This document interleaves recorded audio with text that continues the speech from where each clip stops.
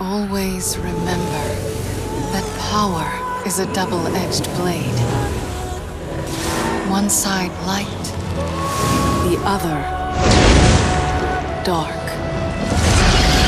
The righteous and the meek may recoil at its cost, but they have no vision.